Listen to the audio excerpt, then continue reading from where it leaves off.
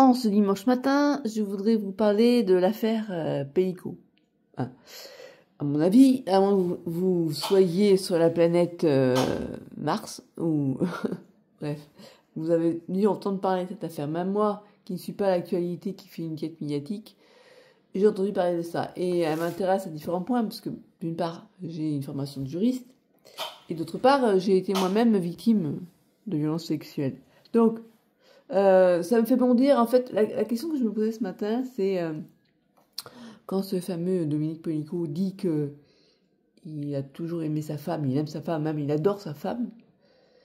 Euh, on peut réagir parce qu'on se dit, mais attends, oh, quelqu'un qui aime vraiment quelqu'un, déjà, même si tu n'aimes pas quelqu'un, tu ne fais pas subir ça, mais là, quand tu dis aimer quelqu'un, c'est pas possible. Alors je réfléchissais. J'ai vu une vidéo où la personne disait Bon, bah, c'est pas possible, on n'aime pas quelqu'un quand. pas faire ça quand on aime la personne. Et je lui disais Est-ce que effectivement il n'y a pas du tout d'amour? Ou est-ce que c'est un amour pathologique? Ou est-ce que le gars, en fait, il ressent, il pense. en fait, ce qu'il pense être de l'amour, finalement, euh, c'est mélangé avec sa perversité. Et, et finalement, peut-être qu'il est convaincu d'aimer sa femme, alors qu'en fait, euh, il faut qu'il réalise qu'on que quand on aime quelqu'un, on force pas quelqu'un. Et en fait, je vais vous parler du consentement.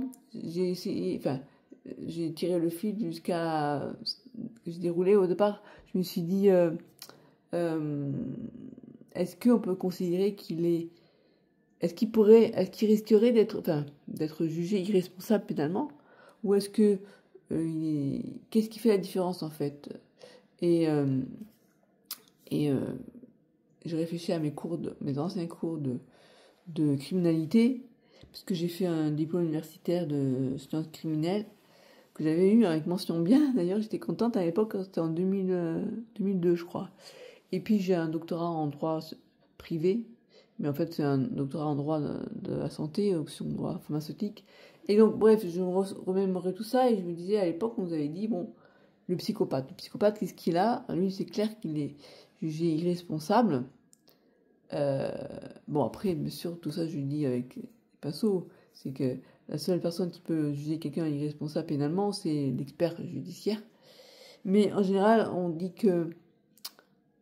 je dis ça, mais peut-être qu'il y a des psychopathes qui, qui sont jugés, je sais plus. Euh, ce que je sais, c'est qu'il faut pouvoir prouver l'abolition du, du, discernement de la personne pour pouvoir juger quelqu'un irresponsable.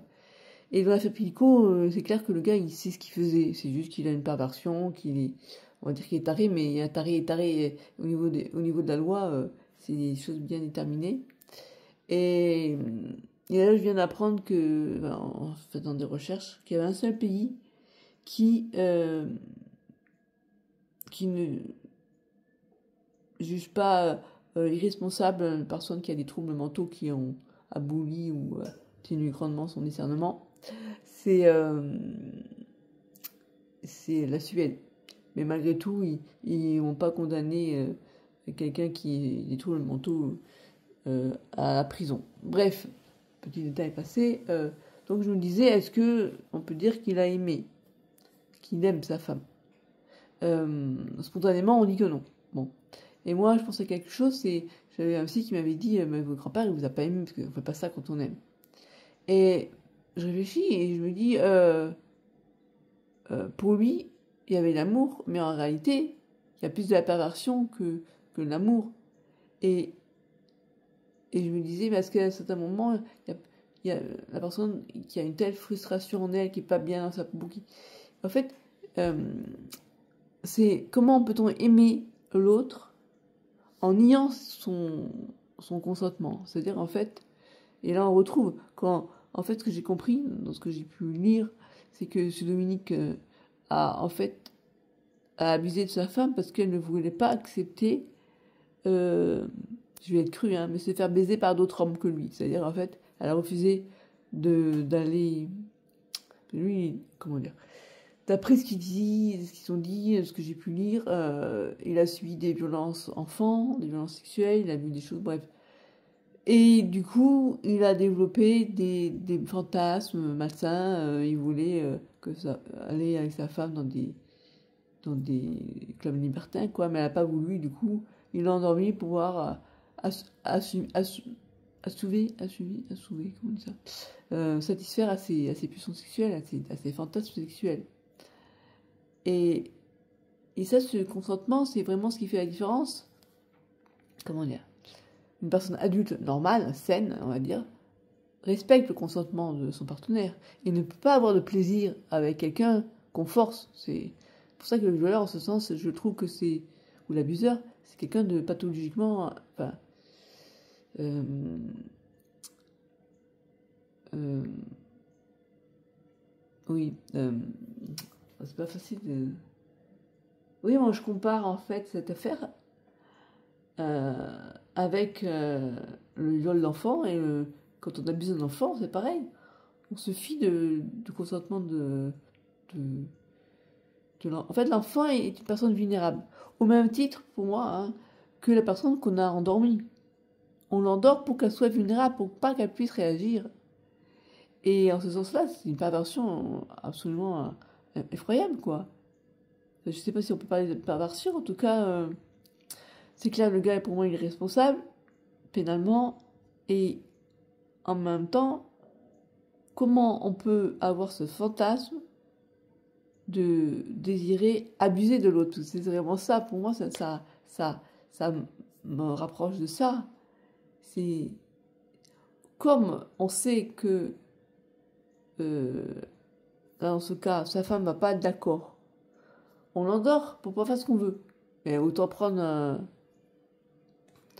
une poupée gonflable, quoi, je veux dire.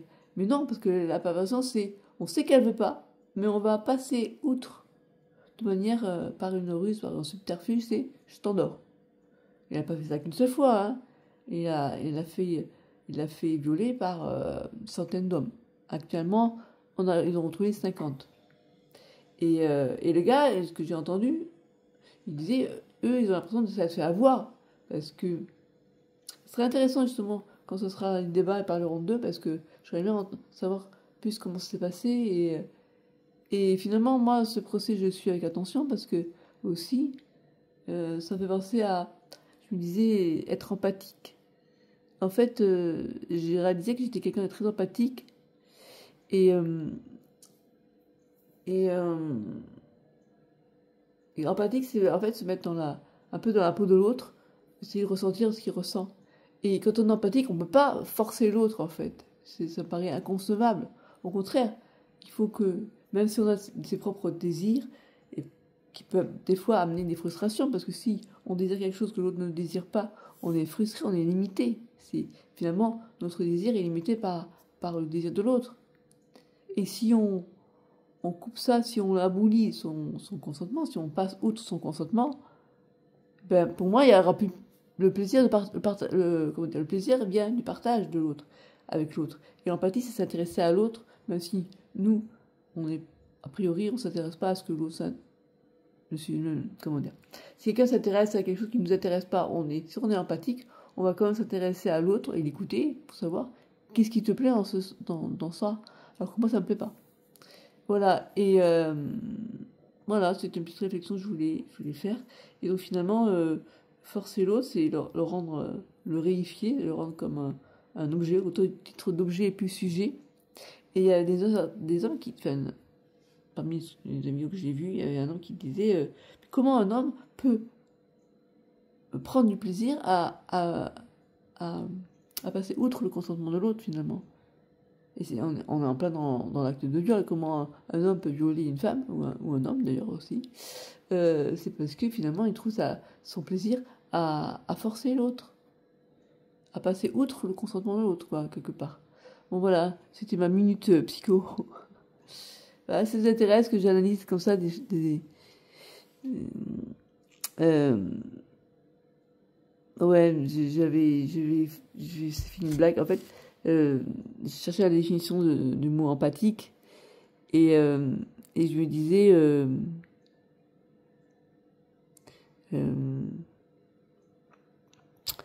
qu'il n'y a qu'une seule personne qui ne peut pas être empathique, c'est un médecin légiste ou un embaumeur de corps. Parce que si tu te mets à la place de l'émotion de l'autre, tu peux pas parce qu'il n'y a pas d'émotion dans un cadavre. Voilà. Bref, mais par contre, tu peux te mettre à l'émotion de, des, des, personnes qui, qui ont pleuré euh, la personne qui est décédée et, euh, Bon, bref, c'est un autre sujet. Je sais pas, ça va pas être facile de faire ce boulot. Bref, voilà, c'était ma petite minute psy.